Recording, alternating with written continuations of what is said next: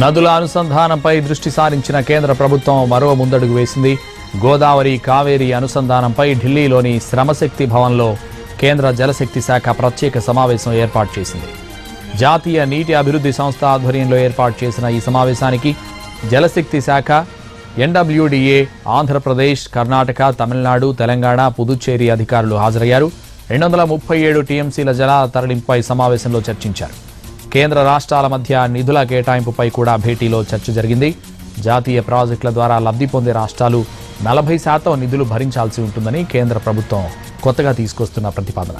అందుకు అనుగుణంగా ప్రాజెక్టు వ్యయంలో అరవై శాతం నిధులు కేంద్రం భరించనుంది. నదుల అనుసంధానానికి అవసరమైన భూసేకరణ ఏ ప్రాజెక్టు నుంచి ఏ ప్రాజెక్టుకు అనుసంధానం చేయొచ్చు?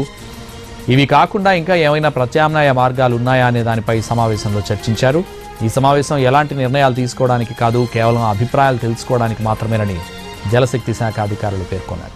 ఇదే విషయానికి సంబంధించి మరింత సమాచారం ఢిల్లీ నుంచి మా ప్రతినిధి రాజు లైవ్లో అందిస్తారు. రాజు.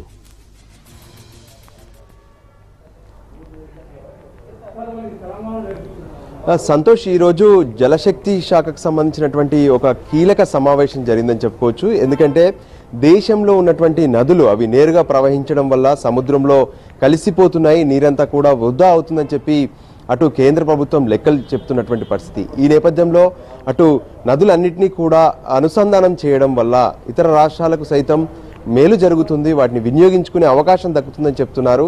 అందులో భాగంగా ఈరోజు గోదావరి కావేరి నదుల అనుసంధానం చేస్తే ఎటువంటి ప్రయోజనాలు ఉంటాయి దీనికి ఏ విధంగా ఖర్చు పెట్టాల్సి ఉంటుంది ఏంటి అనే అంశాలపైన ప్రధానంగా అంటే గోదావరికి సంబంధించి కావేరికి సంబంధించి రెండు రాష్ట్రాలు ఎవరైతే ఉన్నారో వాళ్ళను పిలిచినటువంటి పరిస్థితి కనిపించింది. తెలంగాణ ఏపీ దాంతోపాటు కర్ణాటక తమిళనాడు పుదుచ్చేరి ఈ ఐదు రాష్ట్రాల అటు అధికారులందరూ కూడా ఈ సమావేశానికి హాజరయ్యారు. ప్రధానంగా చూసినట్లయితే ఇరిగేషన్ శాఖకు సంబంధించినటువంటి అధికారులతో పాటు అంటే సెక్రటరీతో పాటు చీఫ్ ఇంజనీర్లు ఈ సమావేశానికి హాజరయ్యారు. అయితే కేంద్ర జలశక్తి శాఖకు సంబంధించినటువంటి సెక్రటరీ పంకజ్ కుమార్ దీనికి సంబంధించి పూర్తిగా కూడా సమావేశంలో హాజరయ్యి ఈ అనుసంధానం ఏ విధంగా చేయబోతున్నాం ఏంటి అనే విషయాలను స్పష్టం చేసినటువంటి పరిస్థితి ఉంది.